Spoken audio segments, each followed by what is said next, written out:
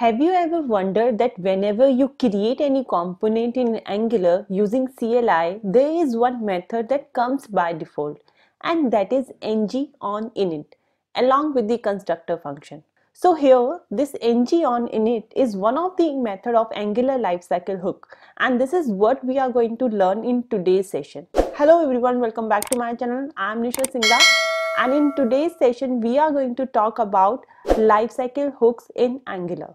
So now let's start with the session and talk about what is lifecycle hook and how it is useful in Angular and how we can implement the same in our project. So first we need to understand like what is lifecycle hook and how we can relate it to a real life example. Like we human have a life cycle, right? From birth till the time we dead. Similarly, every component and directives in Angular also has a life cycle.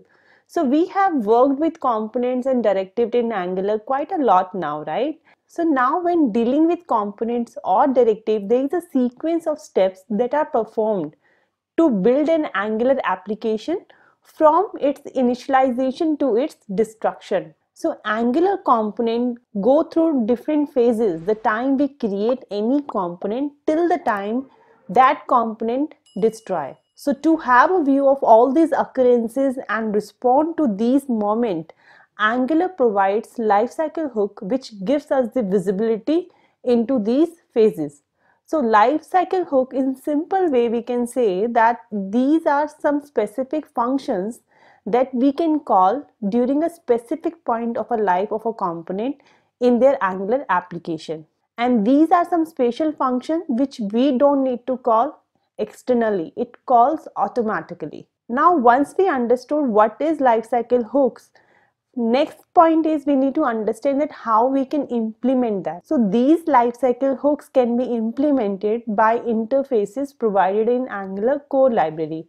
As you can see here, this ng on init, as I told you, it's one of the lifecycle method. So to implement this lifecycle hook, we have one interface on init every interface contain different lifecycle hook method named with interface and prefix with ng. So our interface name is on init. So its lifecycle hook method will be on init prefix with ng. So to implement any lifecycle hook, there is a dedicated interface that we need to implement. So that interface will give a specific method that we need to implement. So now let's talk about what are the different lifecycle hooks that we have in Angular. So Angular basically offer eight lifecycle hooks and out of these eight lifecycle hook, all lifecycle hooks you will not see in day to day or in all component, right? Like ng on changes, ng on init and ng on destroy something which you will use frequently but like if I talk about ng after content init checked or ng after view init, these are some lifecycle hook which you will not see very frequently. Depending on the requirement, we need to use this lifecycle hook. But it's always good to know about what are the different types of hooks we have in Angular and which lifecycle hook is can be used for specific purpose. Okay. So this diagram is very useful to keep a track what all lifecycle hooks we have in Angular and in which sequence it execute. So constructor I have mentioned here, it's not a part of lifecycle hook I will say, but it is very important to understand as it is a part of component. So whenever we discuss about lifecycle hook, we always discuss constructor because we need to be very clear where to use constructor whenever any component run, it always call constructor.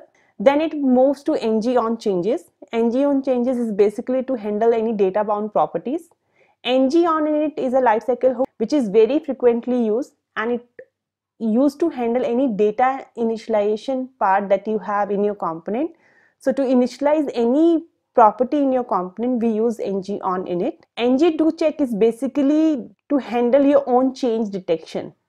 So if you want to handle, uh, detect or act upon changes that Angular can't or don't detect on its own, so you can handle it on your own in the ng do check. ng after content init uh, is we have already discussed in one of the video where I have explained about content child and content children decorator. So ng after content init lifecycle hook respond after Angular project any external content. that we have discussed about the content children and content child, right? Ng after content checked is basically respond after Angular check the content projected into the component. This lifecycle hook respond after Angular initialize the component's view and child view. And now when we talk about ng after view check, this lifecycle hook respond after Angular checks the component's view and child view. So these lifecycle hooks are something related to the Angular projected content and the components view part. It will make more sense when I will show you the demo, but on a very high level, it is something related to the view and the projected content.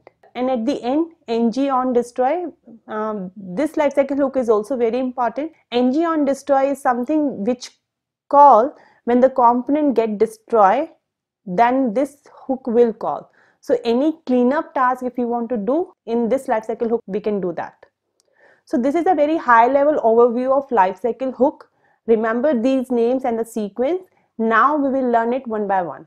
If I will cover all the lifecycle hook in single video, it would be a very lengthy video. So I will divide this lifecycle hook into different sections. So I will first talk about constructor and ng on init in this video and the rest of the lifecycle hook I will cover in the next video. Now let's talk about constructor and ng on init. So when we talk about constructor, a constructor is a special method that will be called whenever we create new object. And the people who are coming from object oriented background, they have already used constructor, right? Every class has a constructor. So this is a feature of a class or you can say this is a feature of TypeScript itself. It's an object oriented design concept. So constructor is basically used to initialize the class member that we know, fine. But when we talk about Angular component, we don't use constructor for any initialization purpose. We use constructor to inject dependency. That's why I have written here DI, dependency injection. So Angular always execute the constructor method first, then all lifecycle hook will come into the picture. That's why it's very important to talk about constructor when we talk about lifecycle hook. All dependency injection will come into the constructor, then where we will put all the class member initialization, right? So there we have ng on init. So this lifecycle hook is the most usable hook as we can initialize all the method and variable here. So when we need to initialize any member, any method where we can have the logic to getting initial data for a component, then we can use ng on init to call this method. This lifecycle hook will implement after all data bound properties to get call. So we'll, we will have all properties to use initially. Basically, this lifecycle hook will call once and after ng on changes call initially. So you just need to remember that ng on init will only call once. Now most of the time uh, it's a very common question like what's the difference between constructor and ng on init. So probably you will wonder why place initialization logic inside ng on init when you can do that in the class constructor. See basically the constructor is best left to be used for dependency injection and our initialization logic should be a part of ng on init when we talk about Angular. This is because the JavaScript engine is what handle the constructor, not Angular, right? Because constructor is a part of a TypeScript concept, not the Angular. And this is one of the reason why ng on init hook was created, which is called by Angular and become a part of component lifecycle that is managed by it. Also, of course, due to the fact that you can't access any component input properties on the constructor we cannot do that right? So mostly we use ng on init for all the initialization part and avoid doing any such logic in the constructor. The constructor should be very clean and should be dedicatedly used to perform any dependency injection. So you should use constructor to set up dependency injection and ng on init is a better place to start where the component bindings are resolved now, as we understood the high level difference on constructor and ng on init and we have used this a lot, right? As you can see constructor and ng on init is something which comes by default as soon as we create any constructor using CLI. Now let me do simple console.log here and I can also console log something here just to show you a very basic sequence keep your developer tool open and move to the console tab and can you see here as soon as my hook route will execute it will first call constructor call and then ng on init now, as I told you that constructor should be only used for any dependency injections. So if I show you one of my uh, previous component, you can see here that we have one users component and it also has constructor and ng on init. So this constructor is using one service that is user service. So user service will act as a dependency for my users component. So to implement or to inject this service into this component, we have a concept of dependency injection that we need to use in the constructor. So as you can see here in the constructor, we have injected user service as this object. And now we can use this user service object in my component. So constructor is basically used for dependency injection. So if you have to inject any service, any directive, anything, you need to use in this way. And ng on init on the other hand is used to handle any initialization logic. So i have one users variable. I want to initialize my users variable with the data that is coming from this service.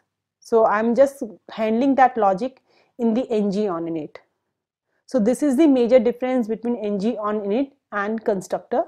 So as soon as your component will invoke it will first make a call to the constructor.